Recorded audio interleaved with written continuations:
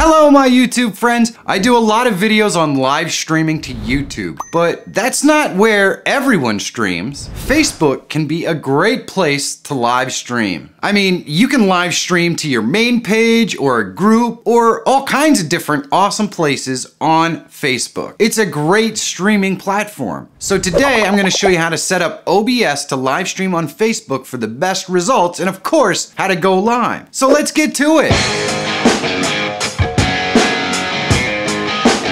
My analytics say that 80% of the folks that watch my content are not subscribed. This seems crazy. Am I doing something wrong? If so, let me know in the comments. But if you are looking for tools, tips, and tricks that can help make you a better YouTuber or live streamer, then subscribe to the channel and click that bell so you don't miss any new content. It's totally free. The Facebook live streaming setup is a bit different than YouTube, so we need to adjust OBS first for our Facebook live stream. So let's dive into OBS.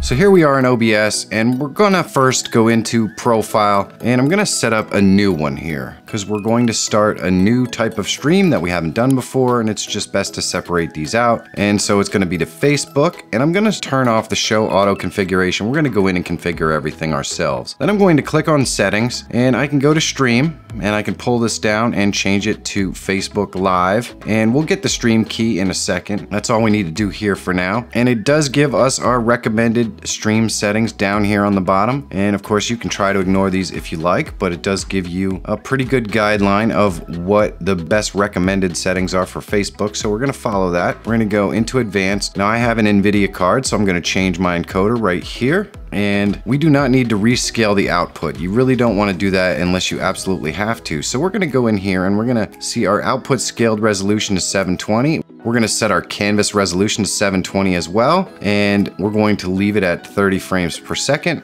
And we're gonna go back into output. CBR is fine. We're going to change our bitrate to 6000. If you do not have the output ability of your live stream to do 6000, 4000 should be fine. I'm gonna change my preset to max quality and my profile to high. Now, if you have a slower, older machine, you might wanna lower your preset a little bit. That'll change the encoding, but it really doesn't degrade the signal all that much. It still looks pretty good. Now, if you have X264 because you don't have a graphics card. You're just gonna go ahead and select that as the encoder change your bit rate to 6000. We're gonna go to medium under the CPU usage and high under profile. And for tune, you can select, I usually take film. It gives me the look that I want. Now, as far as CPU usage goes, if you have a speed demon, you can set that lower. It just sets the quality but uh, that's where you would adjust if your stream is struggling. And then we're just gonna click apply and okay. So now we have our stream set up to go to Facebook. Now we're gonna flip over into Facebook and this is just my page here. I can click on live video. It's gonna bring us into the live video settings. And Facebook wants to use your microphone and camera. You don't really need to worry about that because we're not going to use our camera through Facebook. We're going to go ahead and configure it on our own. We're gonna go ahead and use this stream key right here here. We're not using the paired encoder either. You just want to select use stream key and you can set some of these options. You can have a persistent stream key, which means your stream key will never change. It will always be the same you can use a backup stream, which means that it will kind of record in the background and no matter what happens, um, you could choose or not choose to use it. Down here in settings, you can allow viewers to rewind and you can also turn on auto-generated captions. Under stream, you can end live video if your stream stops, which means if you lose a connection, your live video will automatically end. Down here, you have stream latency. You can try normal or low. I recommend just leaving it on auto and letting it do the work work. You can embed live video if you have a web page or something and you want to embed the video on that web page. You can get the code and paste it into your website. And there's some different broadcast settings down here, spherical video and that sort of thing. So all we really need on this page is to copy our stream key. We're going to go back over into OBS, go to settings. We're going to go to stream and we're going to just paste our stream key in here. And then all we have to do is click apply and our OBS is ready to stream. But let's go back into Facebook and take a look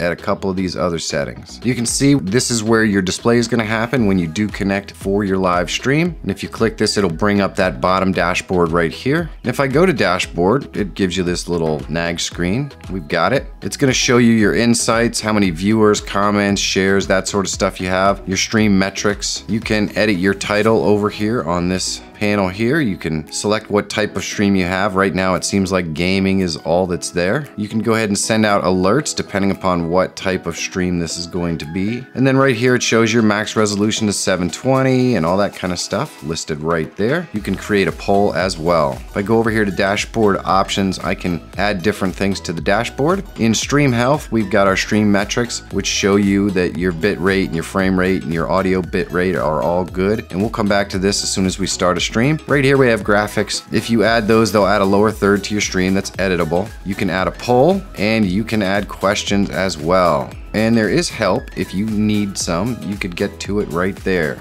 Over here to the left, you can see here's where you're going to post it. You can post it to your timeline, another page that you manage, or you can post it in a group. So you can select this, select the group you may want to post to, or you can post it to another page that you manage. Here you can select who gets to see your stream. You select only me, that's good because you can test using only me. See if your stream looks good before you do a public live stream. Here you can put a title in for your live stream and you can put a little description in there for your live stream as well. So let's go ahead and add a source in here. I think I'll just add a video file so we can take a look and see how this works and it's a video file so I'm gonna select loop and OK. And there we go. We have the video in there but it is gigantic because of course this is a 720 stream so I just need to shrink it down a little bit. And there we go. We've got audio and video in here. We're all set. So if we just want to test the live stream we can click start streaming. And we'll flip back over into Facebook. You can see down in the bottom right it says connecting to live video and there we go. We have some live video coming across. Put a title in here put a little description in here and you can see your preview up here. Have a look at what it's going to look like. Now this isn't actually what it's going to look like. This is actually much lower resolution for the preview. I'm not sure why. But it does show you what it's receiving. It does tell you it's getting 720p. It shows you the bit rate and the frames per second and your audio bit rate, your audio format and all that good stuff. It tells you that everything is working. You can also go over here in the stream health just to verify that everything is working as it should. And if I go over here, I can go ahead and see the settings and you can see that your preview is not very high quality for some reason. But we know that it's producing a stream that can go at 720 and that's what your viewers are going to see. And so we can go down here in the bottom left hand corner and click go live. It takes a moment or two before it actually goes live. And there we go. Now we are live to Facebook. You can see our comment window shows up here in the bottom left. So we can just type comments in here or receive comments from anyone who happens to be watching our stream. There you can see what it looks like. You can see the chat here. You could go up here and edit your post again if you would like. And anytime you go to the dashboard, you can see how many comments, reactions, and of course, all of the pertinent information as to how your machine is streaming. You can get either in the dashboard or in Stream Health. But you may not just believe that. You can come over here into OBS and go to Docks and then select Stats. And it's going to show you the stats that OBS is actually outputting. So we've got 30 frames per second. We got the correct bit rate. We're not dropping any frames. If we go down here to the bottom right, we can verify that as well. 30 frames frames per second, 6,000 kilobits per second, and no dropped frames. So it appears that this stream is running exactly as we intended it to. And this is a good way to test. Now, when you're done, obviously, and you stop the stream, you're gonna wanna watch it back and make sure your audio is good and it's all in sync and everything is the way it's supposed to be. Once you're done, you can end the video and it tells you that you do have the opportunity to delete it. If you click end, this little questionnaire comes up and you have the options as to where you want to post or whether you want to trim the video or create a clip and I'm just going to delete it and confirm and there we go. Now we've gone live to Facebook, albeit just to me, but you can do this to any group or any page that you have access to. It's really that easy. Now if you want to see how to configure OBS for a bunch of different platforms you can stream to at the same time, you should check this video out. And if you're always looking for tools, tips, and tricks that can help make you a better YouTuber or live streamer, subscribe to the channel. It's totally free. My name is Michael Feyrer Jr. Thank you so much for watching. Have a great day, and I'll see you in the next one.